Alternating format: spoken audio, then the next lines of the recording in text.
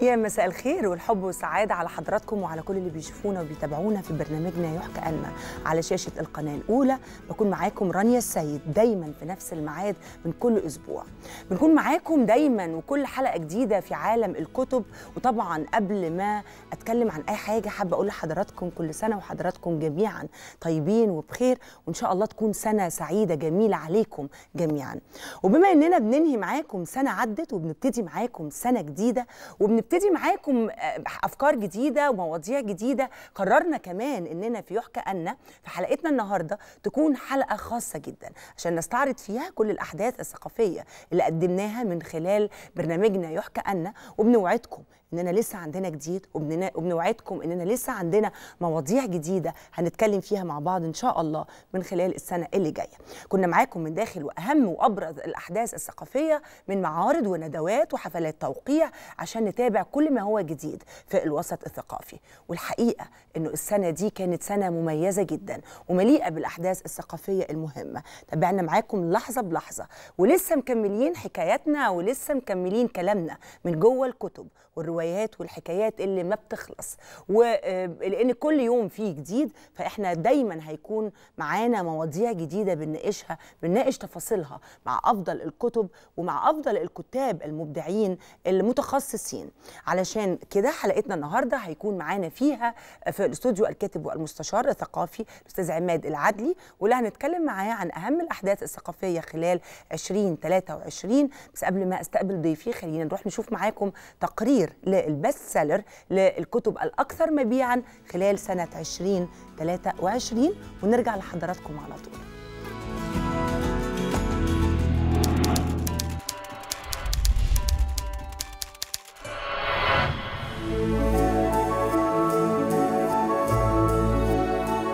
يحكى أن يقدم لكم قائمة بالكتب الأكثر مبيعاً لهذا العام. نرصدها لكم طبقاً لما نوهت عنه دور النشر على صفحاتها على مواقع التواصل الاجتماعي. تنوعت الكتب الأكثر مبيعاً لعام 2023 بين الترجمات الأدبية والروايات وكتب التنمية البشرية والتاريخ. تصدر قائمة الكتب الأكثر مبيعاً كتاب أكاذيب نخبرها لأنفسنا للكاتب جون فريدريكسون وهو من ترجمة سلمى علاء وأسماء حسن. في هذا الكتاب يوضح المعالج النفسي جون فريدريكسون الأساليب التي نخدع بها أنفسنا وكيف نحررها من الوهم الذي نعيش فيه. تأتي في المركز الثاني رواية السرعة القصوى صفر للكاتب أشرف العشماوي وهي عمل أدبي يجمع ما بين التاريخ والتشويق حيث يأخذنا الكاتب في رحلة مثيرة مستوحاة من بعض أحداث حقيقية عن الطموح الإنساني والصراع السياسي. تحتل المركز الثالث رواية الكاتبة نورة ناجي سنوات الجري في المكان وتدور أحداثها حول العشر سنوات ما بين ثورة يناير وفيروس كورونا ومدى تأثير هذه المرحلة على جيل كامل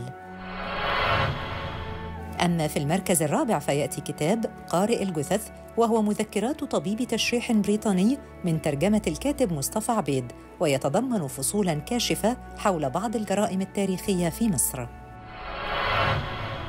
تحتل المركز الخامس المجموعة القصصية من قتل مريم الصافي للكاتب محمد المنسي قنديل والتي تضم أربع عشرة قصة يربط بينها جميعاً أسلوب الكاتب الجذاب. ولم تغفل القائمة أدب الجريمة فجاءت رواية جريمة العقار 47 للكاتبة نهى داوود في المركز السادس وتدور أحداثها حول جريمة قتل في إطار تشويقي مثير وفي المركز السابع جاءت رواية أولاد الناس للكاتبة الدكتورة ريم بسيوني وتقسم الرواية إلى ثلاثة أجزاء تحكي جميعها عن سيرة المماليك في مصر منذ عهد الناصر قلاوون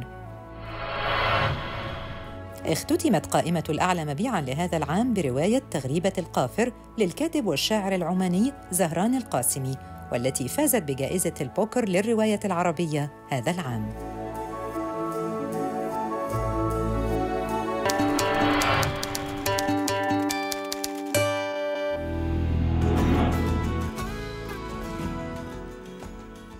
رجعنا لحضراتكم مرة تانية. ولسه مكملين حلقتنا ودلوقتي هينضم لنا من خلال Zoom ال BookTuber الأستاذ كريم النجار واللي هيكلمنا عن أهم الكتب اللي كان عليها إقبال من الشباب في 2023 أهلا بيك أستاذ كريم.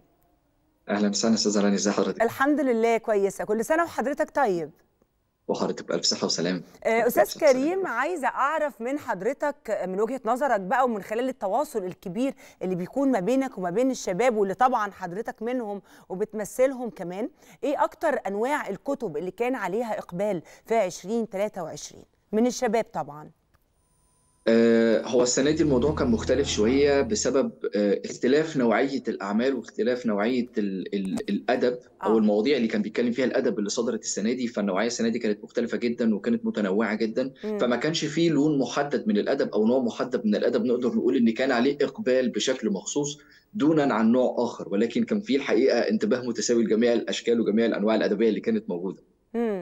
تحديدا إيه أكتر أنواع الأدب طيب اللي كان عليها إقبال وإيه السبب من وجهة نظرك ممكن شوية أقدر أقول إن أغلب الأعمال اللي طغت نوعا ما ولقت استحسان كبير السنة دي آه. من القراء كانت أعمال ليها خلفية تاريخية شوية مم. آه، ممكن بسبب إن الكتاب اللي كتبوا الأعمال دي كانوا بالقوة الكافية والقوة ال- الرائعة إن هم يقدروا إن هم يعبروا عن جمال ال- ال- الخلفية التاريخية داخل حدث روائي أو داخل سرد روائي آه، معبر جدا وفيكشنال زي ما بنقول.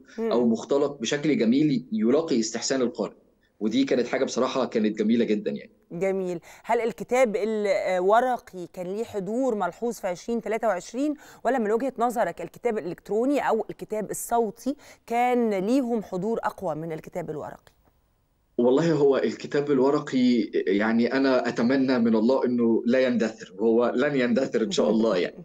لأن إحنا كقراء بنحب نمسك الكتاب الورقي في. إيدينا. ولكن في نفس التوقيت ده ما يمنعش إن حضور الكتب الإلكترونية أو صدور الكتب بصيغة إلكترونية أو بصيغة صوتية سهلت على القراء كتير جدا عملية الوصول للكتاب. أي. بمعنى إن ممكن حد يكون مسافر أو بره في الشغل أو أو أو ما يقدرش إنه يتحرك بالكتاب معاه على طول. طبعا. فيقدر إن هو يفتح النسخة الإلكترونية أو النسخة الصوتية من الكتاب يسمعها وهو رايح الشغل وهو راجع أو يقرأها وهو في مواصلات أو هو قاعد مثلا مستني حاجة تحصل مفهوم. قاعد في waiting area في أي مكان. أي. فيقدر يطلع الكتاب ويقراه. ده غير كمان ان صدور الكتب بشكل إلكتروني على المنصات أو على ال applications اللي بقت متخصصة في الموضوع ده آه. سهلت بكتير قوي إن ممكن واحد يكون قاعد في منطقة نائية وما فيش جنبه مكتبات وحابب إنه يقرأ. كتاب طبعا فيقدر بمنتهى السهولة إنه يدخل على ال application ويوصل للكتاب بصيغة إلكترونية مشروعة طبعا مم. ويقدر إن هو يقرأ الكتاب كاملا ويستمتع بيه. فهو فتح مجالات كبيرة ووسع ال- ال- الدايرة بتاعت القراء بشكل أفقي آه جميل. بس نتمنى من الله إنه ما يلغيش الكتاب الورقي. لا لا إن شاء الله لا لا إن شاء الله لا. ما. نقدرش نستغنى عن الكتاب الورقي. أكيد طبعا. طيب عاوزين نعرف من حضرتك أهم خمس إصدارات إلكترونية كان عليهم إقبال من الشباب في 2023 طيب لو اتكلمنا عن الأعمال اللي صدرت الكترونيا آه. فهنا ممكن نتكلم عن نقطتين إن في بعض الأعمال بتصدر الكترونيا فقط وفي. بعض الأعمال بتصدر الكترونيا قبل ما بتصدر ورقيا وفي أعمال عادية جدا نزلت ورقي ونزلت إلكتروني في نفس الوقت. فلو هتكلم مثلا عن الأعمال اللي صدرت الكترونيا فقط أو بتصدر الكترونيا قبل ما تصدر ورقي فعندنا مثلا سلسلة لاشين للكاتبة شيرين هنائي.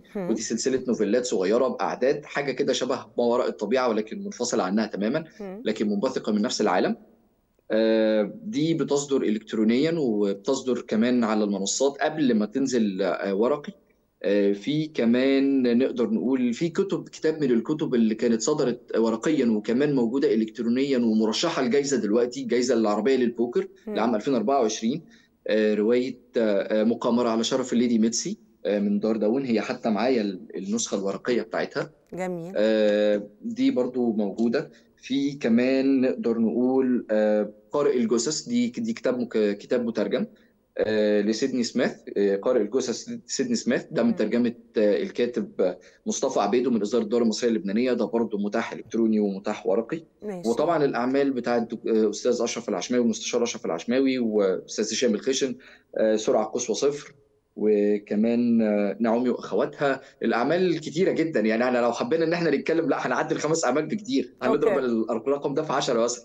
طيب حضرتك أستاذ كريم بقى كقارئ يعني مش بس كقارئ إنما كمان كصانع محتوى إيه أهم قراءاتك في 2023 طيب هو أنا معايا بعض الأعمال هي ما بين الأعمال الروائية وما بين الأعمال المترجمة. آه. آه، خليني أبدأ بالمترجمات بما إن هي تعتبر يعني هم ماشي. عملين تحديدا وهم. آه، لعبة أندر من ترجمة الكاتب محمد عصمت. آه، ومن إصدار دار يتخيلون. العمل ده تم تحويله الفيلم تم تحويله الفيلم وبعد كده تم ترجمة العمل الأصلي آه، لرواية. وكانت الحقيقة كانت ترجمة جيدة جدا جدا جدا جدا جدا جودة الترجمة فيها كانت رائعة. مم. آه، يعني ما أعرفش هل الوقت يسمح إن أنا أدي نبذة عن العمل ولا لأ لكن هو بيدور في في عالم بعيد جدا الإنسان قدر إن هو يتطور فيه ويصل إن هو يغزو الفضاء وفي نفس التوقيت كان في حدث على الأرض آه. بيخلي نسبة المواليد تكون قليلة وفي مولود واحد بيكون أو بيلاقي نفسه إن مصير البشرية كلها معتمد عليه فحقيقة. العمل ده كان حلو جدا وكان جيد جدا جدا جدا والترجمة بتاعته كانت هايلة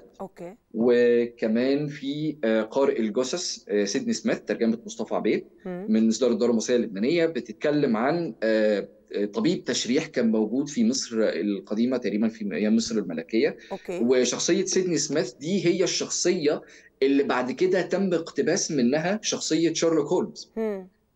فده الشخصية الأساسية اللي اقتبسوا منها شخصية شارلوك هولمز. okay. فالشخص ده كان عايش في مصر في مصر الملكية وكان هو طبيب التشريح اللي كان موجود في مصر وقتها. فبيحكي لنا بعض الوقائع وبيتكلم عن بعض الجرائم اللي كانت موجودة وطريقة سيدني سميث.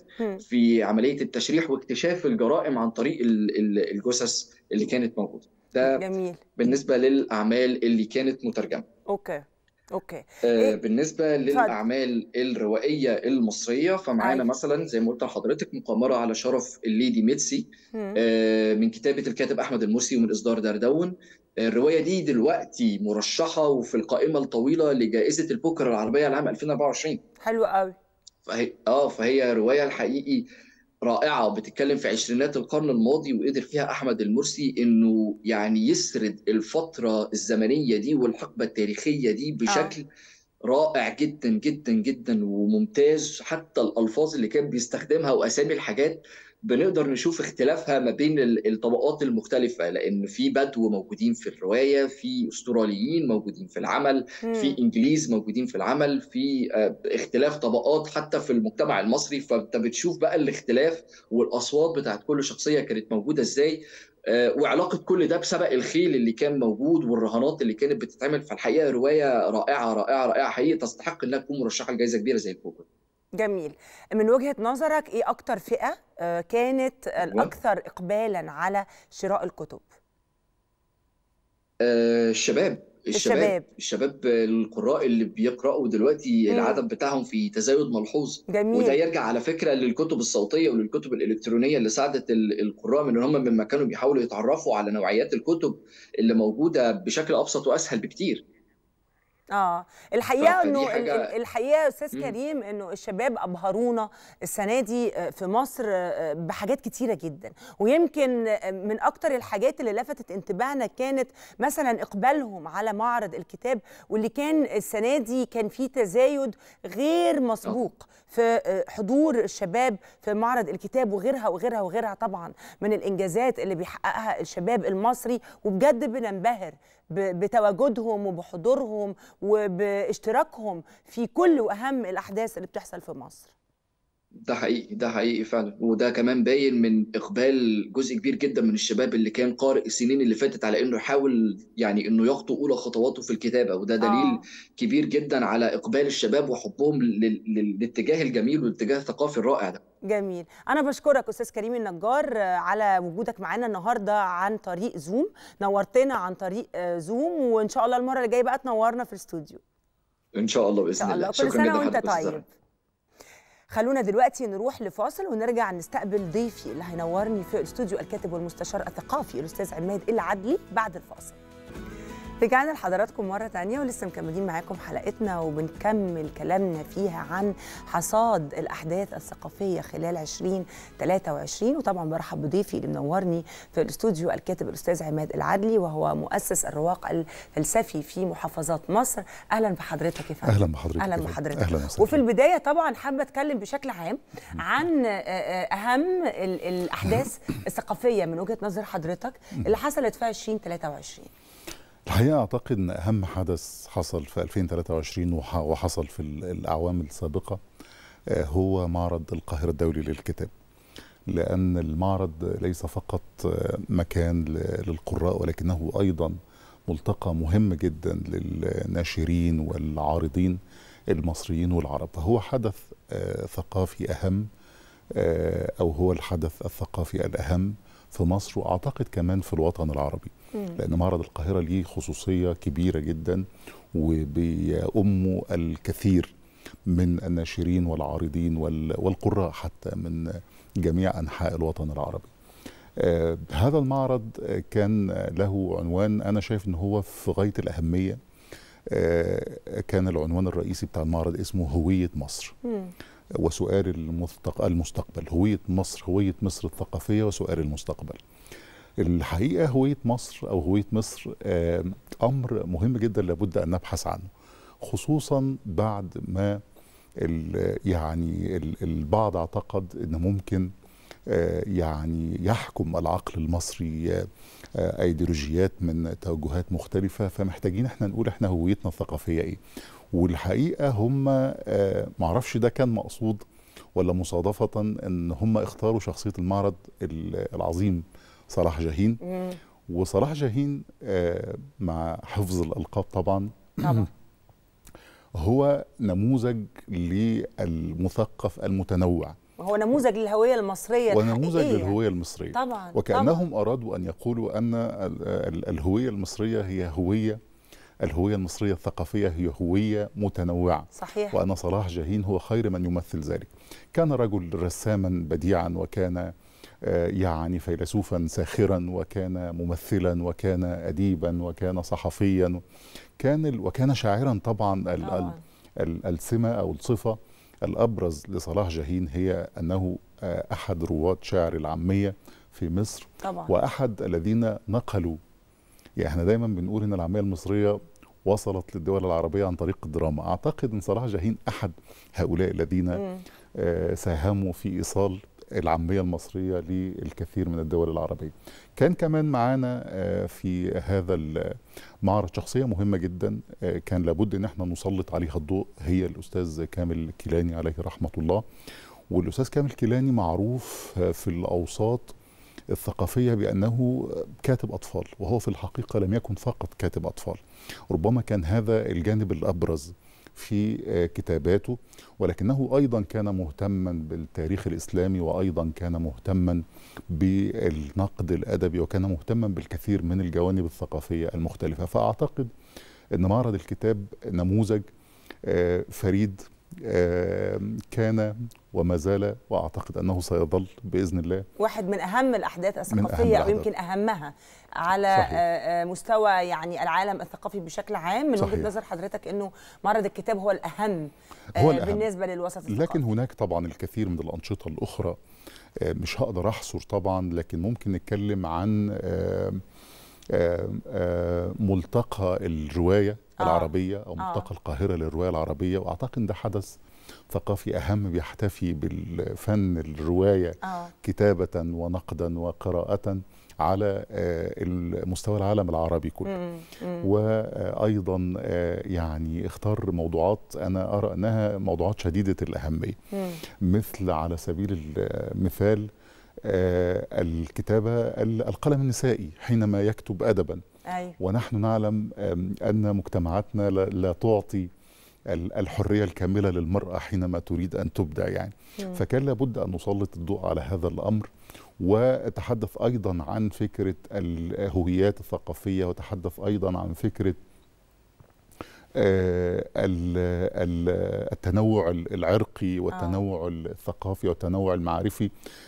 وأعتقد أنها ثقافة لابد أن تسود, ليس فقط في الرواية وليس فقط في الأدب ولكن يجب أن تسود في العقل. لابد أن يكون هناك آه، تنوعا ولابد أن يكون هناك قبولا لثقافة الآخر مثلما آه، يعني أريد من الآخر أن يتقبل ثقافتي. صحيح. أعتقد كان كمان برضو في آه، مؤتمر أدباء مصر. ده برضو حدث ثقافي مهم ربما يعني يختص بالأدباء المصريين ولكن آه، الأدب المصري ليس آه، يعني قليل الشأن فبالتالي لابد أن يكون هذا آه. حدثا مهما. وتم اختيار شخصية أحد الشخصيات المهمة في الكتابة الأدبية وهي الأستاذ جمال الغيطاني عليه رحمة الله. وربما لأن المؤتمر آه، يتحدث عن آه، ال- الإبداع ونصر أكتوبر. والأستاذ جمال الغيطاني كان أحد المراسلين الحربيين المهمين في في حرب أكتوبر. فأعتقد أن برضو اختيار آه، موفق آه، لشخصية آه، هذا المؤتمر وهو مم. الأستاذ جمال الغيطاني أكتر أنواع الكتب مبيعا من وجهة نظر حضرتك في 2023 واحيانا إنه الأحداث آه، آه، آه، تفرض نفسها على ذوق القارئ بصرف النظر عن ذوقه الشخصي ولكن أحيانا آه، ممكن يطرق حدث معين يخلي فيه توجهات معينة للأدب التاريخي لسيرة ذاتية ل... صحيح. ل... ل... ل... لنوع من أنواع الأدب بأي مكان نوعه يعني صحيح. آه، من وجهة نظر حضرتك الكتب الأكثر مبيعا ل 2023 كان شكلها إيه وكان نوع- نوعيتها عاملة إزاي؟ آه، والله زي أي حاجة في الدنيا في آه. الكتابة كمان ليها موضة المو- طبعاً، آه طبعاً. ليها موضة لكن موضة الكتابة آه يعني ممكن آه آه من سنة ممكن تمتد لحد مثلا عشر سنوات ولكنها لا تزيد عن ذلك. موضة اللبس ممكن تستمر آه، عقود وممكن تستمر فترة طويلة. إحنا ما زلنا حتى الآن بنرتدي البدل وما زلنا حتى الآن بنرتدي الكرافات وكده أكيد لكن الكتب آه، الحقيقة الموضة بتاعتها مش كبيرة قوي. آه، وأنا شايف إن دي حاجة حميدة الحقيقة. آه، الأبرز على الساحة الآن وربما قبل دلوقتي بثلاث أربع سنين هو الكتابة الأدبية التي تستند على خلفية تاريخية. وهكذا أحب أن أقول دائما الكتابه الأدبية التي تستند على خلفية تاريخيه لا أحب أن أقول أدب تاريخي لأن الأدب في رأيي لا يصنف. الأدب معياره آه، هو أدب جيد أو أدب غير جيد. مم. الكتابة الأدبية التي تستند على خلفية تاريخية م- منحت الفرصة للقارئ أن يتعرف على التاريخ من خلال الأدب. ودي فرصة شديدة الأهمية لأن الناس تحب التاريخ. و و و و والوعي بالتاريخ كما يقولون هو وعي بالذات. ولكن الكتابات التاريخية في معظمها كتابات أكاديمية كتابات آه، لا يستطيع المتلقي العادي أن آه، يعني آه، يستوعبها بشكل كافي. وحينما تقدم له عن طريق الكتابة الأدبية أعتقد أي أي سياق عايزين نوصله بشكل لطيف يمكن أن يصاغ في هيئة كتابة أدبية لو. أنا عايز أوصل العلم. لو أنا عايز أوصل الفلسفة يعني أشهر مثلا على سبيل المثال آه، من أشهر الروايات في العالم رواية اسمها عالم صوفيا أو عالم صوفي آه، بتاع جاستن جاردر والرواية ديت هي رواية حول تاريخ الفلسفة و و وكل الذين يريدون أن آه، يتعرفوا على الفلسفة آه، كان آه، الرواية بتاعت عالم صوفي هي سفيرهم إلى ذلك يعني فالأدب المستند على خلفية تاريخية حقق رواجا كبيرا آه، جدا في الأعوام الماضية وما زال. حتى الآن يفعل ذلك. عملنا حلقات الحقيقة كتيرة جدا أستاذ عماد عن الأدب التاريخي وزي. ما حضرتك بتقول انه الأدب التاريخي ليه باع طبعا كبير جدا صحيح. جدا. اتكلمنا كمان في الحلقات دي عن الدراما التاريخية أو د- الأدب التاريخي اللي بتتخلله بعض ال- الدراما واللي بتدي للكاتب مساحة من الخيال ومساحة من سياق الأحداث بشكل مختلف. والحقيقة إنه كانت حلقات ممتعة جدا جدا جدا. بالنسبة لي لما كنا بنتكلم عن الأدب التاريخي. اتكلمنا كمان عن الأدب التاريخي في معرض الكتاب. والحقيقة إن إحنا دايما طبعا لأن معرض الكتاب بالنسبة لنا بيكون الحدث الأهم طب، آه، آه، بالنسبة طبعا لشغلنا. فبنقابل طبعا كتير من كتاب الأدب التاريخي صحيح. في آه، في المعرض. والحقيقة إنه زي ما حضرتك قلت فعلا يمكن الأدب التاريخي كان يعني بيت- بيتصدر ال- ال- المبيعات الأولى السنة دي في 2023 صحيح. من وجهة نظر حضرتك إيه أهم الترندات الثقافية اللي حصلت في 2023 خاصة إن إحنا زي ما قلنا كده انه آه، عالم الكتب أحيانا بيكون فيه موضة برضو زي الموضة اللي بتظهر في كل المجالات كمان الكتابة والقراءة وعالم الثقافة بيكون فيه موضة. أكيد كان صحيح. فيه ترند كاتب صحيح. عمل ترند موضوع عمل ترند كتاب عمل ترند. صحيح. أعتقد إن أبرز الترندات اللي ظهرت آه، ربما قبل 2023 ظهرت من 2022 آه، هي trend ال trend هو الترند بتاع أغلفة موازية. إن أنا باخد الغلاف بتاع الروايه ان البعض بعض الساخرين بعض الظرفاء حقيقي يعني بياخدوا الغلاف بتاع الرواية وبيجيبوا مشهد من فيلم ويعني يحطوا عليه اسم الغلاف ويقدموه كغلاف جديد. آه. يعني إيه؟ فكر كما لو أنك صانع أغلفة هتعمل الغلاف إزاي؟ بس طبعا خفة الدم المصرية المعهودة فالموضوع انتشر جدا واتشهر جدا وتقريبا كل المصريين بما فيهم أنا بالمناسبة لعبنا اللعبة اللطيفة ديت لأنها كانت حلوة جدا والحقيقة استلمت صديقي العزيز اللي بوجه له التحية يعني من هنا المستشار أشرف العشماوي بقى كل ما ينزل رواية لازم أعمل غلاف موازي. على هذه الرواية وربما بيحقق يعني مشاهدات أكتر من الغلاف ال- الحقيقي. هو كان مبسوط بده الحقيقة طبعا فكرة آه. لطيفة جدا آه. جدا. طيب إحنا آه، وحضرتك منور معانا النهارده في الاستوديو. هنروح نشوف مع بعض آه، تقرير صورته كاميرا يحكى لنا عن أهم الكتب اللي قرروا إن هم يختاروها ويقروها في 2023 نشوف مع بعض التقرير ونرجع لحضراتكم مرة ثانية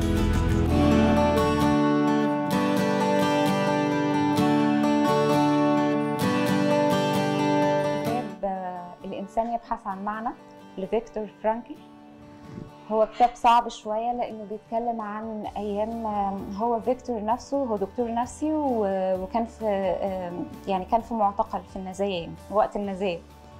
فهو بيتكلم عن إزاي هو جوه المعتقل كان بيشوف إن الإنسان لازم يبقى عنده هدف عشان يقدر يكمل. كتب التاريخ كتب الأدب التاريخي باعتبار إن ده مجالي. كتب الإنجليش كتب روايات أدب كل أنواع المعارف. والله أنا دلوقتي بقرا كتب في الفلسفة عشان أنا بدرس فلسفة في كلية الآداب في جامعة طنطا فتقريبا كل قراءاتي من- منحصر على الفلسفة. يمكن آخر كتاب كان عن علم الجمال بتاع الدكتوره أميرة حلمي مطر. في طبل الصفيح ده ده كتاب عالمي أساسا فرواية عالمية حوالي ألف صفحة فأنا يعني قربت أخلصها. السنة دي على سبيل المثال أنا قريت آه، آه، ماكيت القاهرة الأستاذ طارق إمام.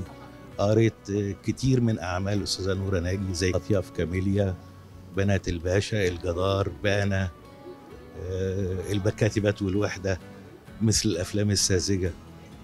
فمجموعات جميلة جدا. في الجديد زي زي ما قلت لحضرتك طارق إمام نورة ناجي نهلة كرم وغيرهم وغيرهم كتير مش عايز أنسى يعني أسامي. بحب أطلع على أحدث الإصدارات. بحب أكون عندي فكرة سواء حاجات إنجليش أو حاجات عربي.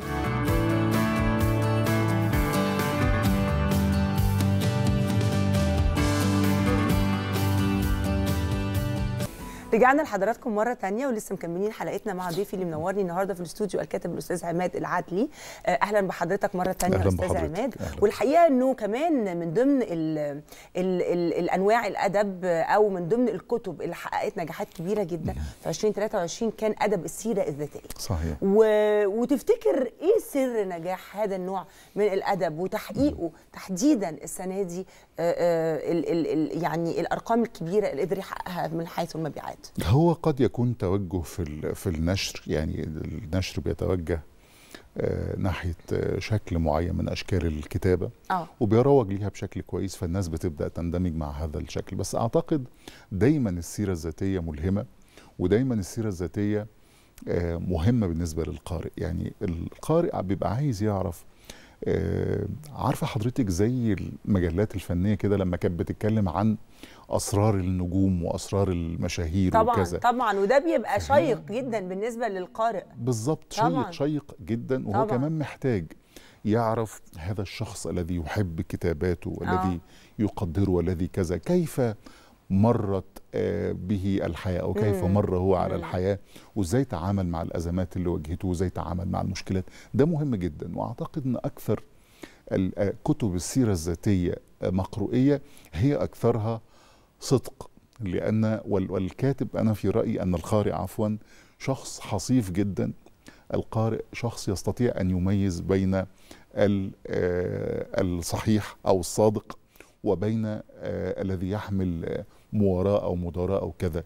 مم. أعتقد الكاتب القارئ شخص حصيف يستطيع أن يميز ذلك. فأكثر الكتب من وجهة نظري فيما يخص السيرة الذاتية صدق هي أكثرها مقروئية وأعتقد ليس أدل على ذلك مثلا من آه، سيرة آه، آه، الحاج محمود العربي اللي هو رجل الأعمال الشهير لما اتعملت في كتاب كان ملهم للكثير من الشباب اللي عندهم رغبة مم.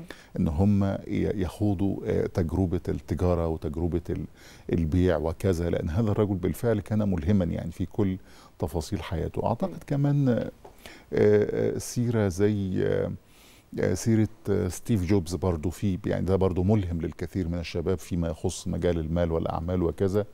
وأعتقد إذا كنا نريد أن ننتبه إلى آه، كتابة سيرة آه، بشكل أدبي لابد أن ننتبه إلى كتابات الأديب الفلسطيني الكبير الأستاذ آه، إبراهيم نصر الله جميل آه خلينا نتكلم شوية كمان عن الروايات المترجمة نعم. وإنه الحقيقة كمان طبعا إحنا عملنا حلقة عن آه، الروايات المترجمة آه، وحقيقي إن الروايات المترجمة بيكون ليها كمان آه، آه، نصيب كبير من المبيعات خاصة لو رواية ناجحة عالميا بشكل كبير ايا ما كانت إحنا بنتكلم عن رواية عالمية مترجمة صحيح. إلى العربية صحيح. أو الرواية العربية المترجمة إلى اللغات الأجنبية أحب أسمع رأي حضرتك عن الروايات المترجمة. فيما يخص الترجمة الحقيقة أنا شايف إن في حركة ترجمة محترمة جدا بقى لها. أكتر من سنة وفي دور نشر كتيرة هي معنية بمسألة الترجمة وحريصة على إن هي تنقل الجديد باستمرار وبتتابع قوائم الجوائز العالمية بره وحريصة على إن إحنا حتى بنترجم دلوقتي وصلنا لمرحلة إن إحنا نترجم قبل ما الكاتب ياخد الجائزه إحنا كنا بنعمل إيه؟ ننتظر لما الكاتب ياخد الجائزه الكاتب العالمي ياخد الجائزه وبعد كده نبدأ نترجمه. لا إحنا اكتشفنا ان إحنا عندنا ترجمات مثلا آه، لعبد الرزاق قرنح اللي هو اخذ جائزه نوبل العام قبل الماضي الأديب اللي هو ال- آه، التنزاني. واكتشفنا ان إحنا قبل ما ياخد نوبل واكتشفنا ان إحنا عندنا ترجمات بتاعه يون فوسا مثلا اللي هو الأديب اللي اخذ جائزه نوبل السنة دي. فالحقيقة الترجمة آه، إلى العربية أنا شايف إن المسار بتاعها مرضي إلى حد كبير. اللي مش مرضي هو العكس الحقيقة. يعني إحنا ال- الأعمال العربية التي تترجم إلى لغات أخرى ما زالت قليلة. ما زالت قليلة. محتاجين نشتغل عليها أكتر. محتاجين نشتغل عليها أكتر ومحتاجين نفتح أفاق آه، أوسع لوصول الأدب المصري أو الأدب العربي للقارئ الأجنبي. ده مهم جدا. زي ما هو بينقل لي ثقافته وأنا بنقلها راضيا مرضيا مهم كمان إن أنا أنقل له ثقافتي وهو يتقبلها راضيا. مرضيا اللي هو طبعا. حتة التفاعل وحتة قبول الآخر اللي إحنا كنا بنتكلم عنها من شوية طبعا عندنا حركة ترجمة كويسة عندنا مترجمين عظماء عظماء عندنا الحقيقة. روايات عظيمة عندنا روايات عظيمة. إنها تترجم صحيح طبعاً. عندنا روايات عظيمة تستحق طبعاً. إنها تترجم بس إحنا محتاجين زي ما قلت لحضرتك ننتبه قليلا إلى آه. هذا كثيرا الحقيقة مش قليلا مم. إلى ضرورة نقل الكتابه العربية. إلى القارئ المتلقي الأجنبي وفي ظل كل التطور التكنولوجي اللي بيحصل آه، لم آه، يعني ينسى عالم الثقافة أن يتطور صح. مع كل التطور اللي كان بيحصل واللي ما زال طبعا بيحصل صحيح. بنتكلم عن منصات إلكترونية بنتكلم عن كتب صوتية بنتكلم عن آه، استخدام عالم الثقافة لل social media استخدام إيجابي على الرغم أن إحنا كنا دايما قلقانين من خطف ال- ال- ال social media للقراء ولسر وحبهم للكتاب الورقي. كلمني شوية عن الجزئية دي وعن التدخل التكنولوجي في عالم الكتب بشكل عام من حيث المنصات الإلكترونية لو بنتكلم عن الكتب الصوتية وكل التفاصيل اللي ليها علاقة بالتكنولوجي وتدخلها في عالم الثقافة. التكنولوجيا حاليا هي داخلة في كل تفاصيل حياتنا. وأعتقد أن من ال- ال- السيء ألا يواكب عالم الكتاب آه، طبعاً. هذا ال- الأمر يعني. طبعا. مهم جدا. وأنا دائما أقول وربما أكون أقول ذلك لأنني رجل قديم أن الكتاب الورقي آه، مش قديم ولا حاجة يا فندم. ربنا يدي يا. لحضرتك يا الصحة. رب يبارك في حضرتك. ال- الكتاب الورقي أعتقد إن عرشه يعني صعب إن هو يهتز لأن الكتاب الورقي ما زال له قيمة وما زال له مقروئية آه. رغم كل هذه الوسائط الجديدة. الوسائط الجديدة استطاعت بالفعل أن تجذب قطاع كبير من القراء، استطاعت أن تجذب الشباب الذي يعني لا يمسك كتابا ورقيا ويعت... البعض يعتقد يعني يعتبر أن ده هذا آه، يعني يجعله رجلا عجوزا إن هو. قاعد ماسك كتاب فخلاص ال ال ال الوسيط الإلكتروني نقل لك الكتاب على ال Kindle نقله لك على ال- ال- ال- ال e-book نقله لك على الموبايل بالوسائط الحديثة. ما يهمني في المقام الأول والأخير هو أن آه، نقرأ. يعني دائما ما كان البعض بينتقد بعض الكتابات الموجهة للفئة الصغيرة فئة ال- العشر سنين والخمستاشر سنة والعشرين سنة لحد الخمسة وعشرين سنة. ودائما ما أقول أن هذه الفئة لابد أن تجد من يخاطبها وأنك إذا أردت أن تحكم على هذا الشكل من الكتابة فعليك أن تكون في مثل عمرهم.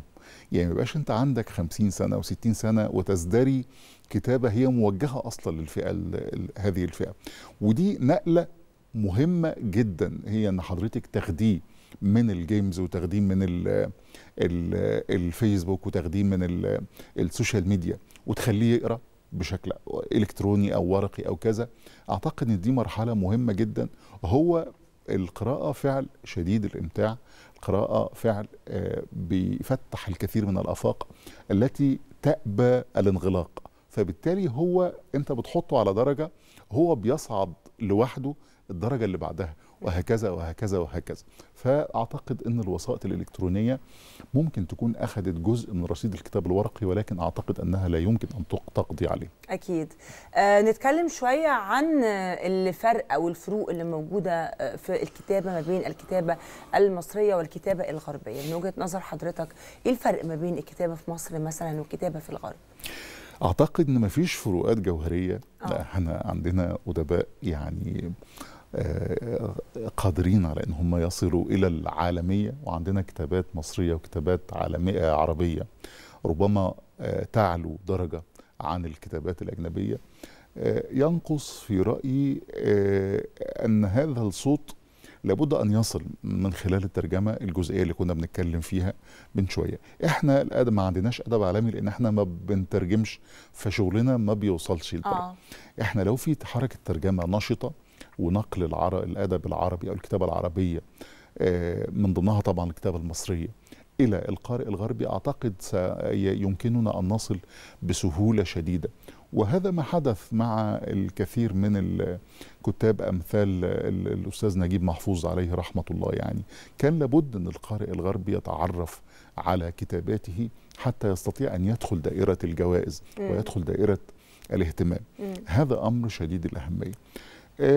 ما أعتقدش إن في فروقات آه، أخرى جوهرية أو حتى غير جوهرية آه. لأن الكاتب المصري أو الكاتب العربي تحرر من الكثير من الأثقال التي كانت تثقل كاهله من من من, من قبل يعني. والكتابة المصرية والكتابة العربية ترقى لأن تصل إلى العالمية بسهولة فقط لو الصوت قدر يوصل آه، مين من الكتاب اللي حضرتك تقدر تديله لقب آه، آه، الأسلوب الجذاب في كتير 2023 بحب جدا أسلوب اخويا عمرو العدلي آه. آه. وإن كان يعني ده شهادة شهادتي حضرتك مجروحة فيها. وبحب جدا كتابة أشرف العشماوي آه آه وشايف إن هم قدروا يحققوا معادلة صعب إن هي تتحقق الحقيقة إن آه. هو يبقى يقدم منتج قادر على أن ينافس تجاريا وفي نفس الوقت لا يفقد معناه الأدبي. ولا يفقد قيمته الأدبية. لأن هناك بعض الكتاب الذين يعني يرون أن البعد التجاري هو البعد الأكثر حضورا في أذهانهم فبالتالي شوف الناس عايزة إيه واعمل زي ما الناس عايزة. آه وبعض الكتاب حريص على أنه أن يكتب ادبا دون النظر لأن هناك قارئ سيقرأه يعني أدب رصين كذا دون اعتبار لأن هناك قارئ سيقرأه آه. أعتقد إن يعني هذه الأسماء وهناك أسماء أخرى كثيرة طبعا بالطبع يعني آه، استطاعت أن تعادل ما بين آه، آه، ال- ال- الشق التجاري والشق الابداعي. مين من الكاتبات آه، آه، اللي حضرتك شايف إن هم كانوا مميزات في 2023 أعتقد الدكتورة ريم بسيوني آه، أعتقد الأستاذة سهير عبد الحميد آه، سهير عاملة شغل هايل آه، بتكتب في موضوعات برضو أنا شايف إن هي جديدة قلما تطرق في الكتابة العربية ربما تكون لا تكتب ادبا ولكنها مهتمة بالتاريخ. ومهتمة تحديدا بالثغرات التي أغفلها التاريخ الرسمي زي مثلا على سبيل المثال أحدث أعمالها كتاب اسمه قوت القلوب الدمرداشية اللي هي بنت عبد الرحيم باشا الدمرداش اللي مؤسس مستشفى الدمرداش واللي عامل المسجد آه، وصاحب الأرض اللي هي ورا المستشفى دي كلها. آه، قوت القلوب يعني كانت أديبة وللأسف شديد لما كتبت كتبت باللغة الفرنسية باللغ بلغات أجنبية آه. وبالتالي لم تترجم إلا مؤخرا وبالتالي لم يتعرف عليها المتلقي المصري إلا مؤخرا. أعتقد أن آه، الدكتورة ريم والأستاذة سهير من الأصوات ال- المهمة اللي ماشيين في طريقهم بشكل إيجابي جدا. مم، جميل. مم. آه، شايف حضرتك إنه الكتابة المصرية أو عالم الكتابة بشكل عام والعالم الثقافي في مصر بشكل عام؟ حصل فيه طفرة في 2023 ولا آه، شايف إنه يعني الوضع كان زي ما هو؟ عالم الكتابة أنا أعتقد أن بالفعل به طفرة وطفرة إيجابية عظيمة. آه. أم، أعتقد أن لو كان هناك تراجعا سيكون في, في النشر ربما يعني نظرا يعني الظروف، أسعار الورق آه، ربما الاقتصادية أو ظروف كده؟ لكن لا أنا شايف أن الأمور بتتطور للأفضل مم. مش بس في الكتابة الأدبية كمان في الكتابات النوعية مم.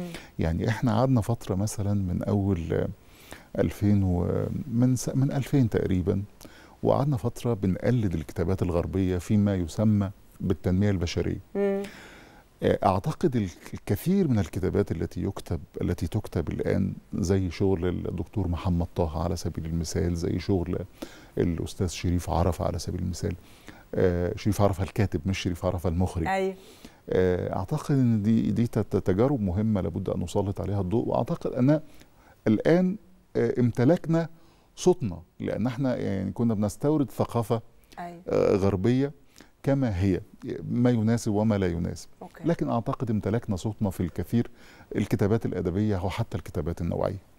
أنا بشكر حضرتك على وجودك معانا النهارده. كان لينا الشرف إن شكراً. حضرتك تكون ضيفنا. النهارده في يحكى أنا وختامها مسك زي ما بنقول. شكرا. نورتنا يا أستاذ عماد. شكرا لحضرتك. ميرسي يا فندم. شكرا لحضرتك. وحضرتك طيب. وحضرتك طيب. ميرسي. شكرا. وبكده بنكون وصلنا لنهاية حلقتنا مع حضراتكم النهارده ونهاية حلقتنا آه في سنة 2023 أو آخر حلقاتنا في 2023 كان منورنا فيها الكاتب والأستاذ عماد العدلي. وطبعا آه، زي ما قلت لحضراتكم إحنا بنوعدكم بحلقات مختلفة بنوعدكم بمواضيع جديدة بنوعدكم بأفكار جديدة. كل سنة وحضراتكم طيبين وكل سنة آه، وحضراتكم دايما بخير وصحة وستر وسعادة وراحة بال. سنة سعيدة عليكم. كان معاكم رانيا السيد. بشكركم